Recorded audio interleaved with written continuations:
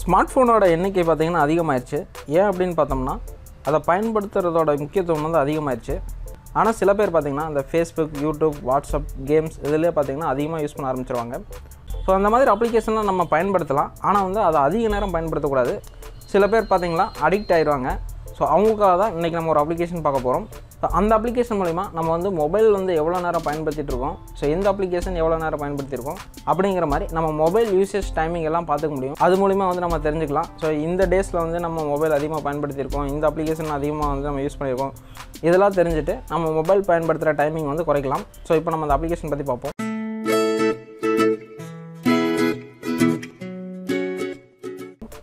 இந்த அப்ளிகேஷனோட நேம் பார்த்தீங்கன்னா யுவர் ஹவர்ஸ் இதோட டவுன்லோட் லிங்க் வந்து நான் வீடியோ டிஸ்கிரிப்ஷன் கொடுத்துருப்பேன். டவுன்லோட் பண்ணி இன்ஸ்டால் பண்ணிக்கங்க. இப்போ அந்த அப்ளிகேஷன் ஓப்பன் பண்ணுறேன் இந்த அப்ளிகேஷன் நீங்கள் புதுசாக ஓப்பன் பண்ணிங்கன்னா உங்களுக்கு வந்து டுட்டோரியல்ஸ் கொடுத்துருப்பாங்க.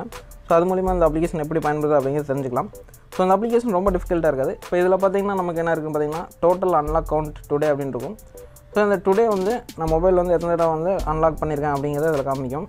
ஸோ அதே மாதிரி பக்கத்தில் பார்த்தீங்கன்னா டோட்டல் ஸ்க்ரீன் ஆன் டைம் அப்படின்னு கேட்கும் அதாவது இன்றைக்கி வந்து நான் ஸ்க்ரீன் எவ்வளோ நேரம் ஆன் பண்ணி வச்சுருந்துருக்கேன் அப்படிங்கிறத நமக்கு காமிக்கும். அதே மாதிரி கீழே பார்த்தீங்கன்னா எஸ்டர்டேவோட இதுவும் நமக்கு காமிக்கும். கீழே லாஸ்ட்டாக பார்த்தீங்கன்னா அன்லாக் கவுண்டோட வந்து கிராஃப் கொடுத்துருப்பாங்க. அதுக்கப்புறம் swipe right to for more reports அப்படின்னு இருக்கும். நீங்கள் ரைட் ஸ்வைப் பண்ணுங்கள் ஸ்வைப் பண்ணிங்கன்னா இந்த மாதிரி வந்து நமக்கு எந்த அப்ளிகேஷன் வந்து எவ்வளோ நேரம் யூஸ் பண்ணியிருக்கோம் எந்த டைமிங்கில் யூஸ் பண்ணியிருக்கோம் அப்படிங்கிற எல்லாமே கொடுத்துருப்பாங்க. மறுபடியும் ரைட் ஸ்வைப் பண்ணிங்க.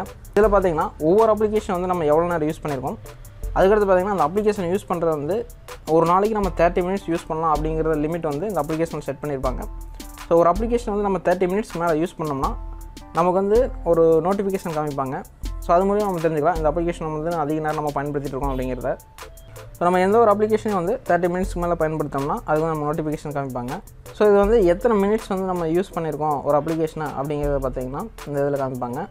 அடுத்து கீழே இருக்க பார்த்தீங்கன்னா இந்த ஆப் லான்ச் கவுண்ட் நம்ம ஒரு அப்ளிகேஷன் வந்து எத்தனை நேரம் ஓப்பன் பண்ணியிருக்கோம் அந்த அப்ளிகேஷன் வந்து எவ்வளோ நேரம் யூஸ் பண்ணியிருக்கோம் அப்படிங்கிற டீட்டெயில்ஸ் எல்லாம் பார்த்தீங்கன்னா இவங்க நமக்கு காமிப்பாங்க.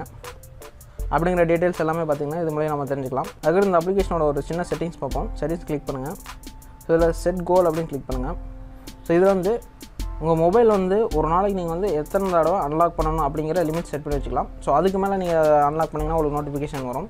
ஸோ அதே மாதிரி உங்கள் மொபைல் வந்து ஒரு நாளைக்கு வந்து நீங்கள் எவ்வளோ நேரம் யூஸ் பண்ணணும் அப்படிங்கிறதையும் நீங்கள் செட் பண்ணி வச்சுக்கலாம்.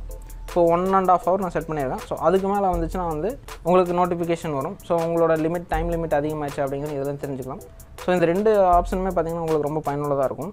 முதல்ல இந்த அப்ளிகேஷன் பார்த்தீங்கன்னா ஒரு சிம்பிளான அப்ளிகேஷன் தான். பட் மொபைல் வந்து யூஸ் பண்ணுறதுக்கு அடிக்டாக இருக்கிறவங்களுக்கு இது ரொம்ப யூஸ்ஃபுல்லான அப்ளிகேஷனாக இருக்கும். இந்த அப்ளிகேஷன் பற்றின உங்களுக்கு கருத்துக்களை கமெண்ட்ஸில் ஷேர் பண்ணுங்கள்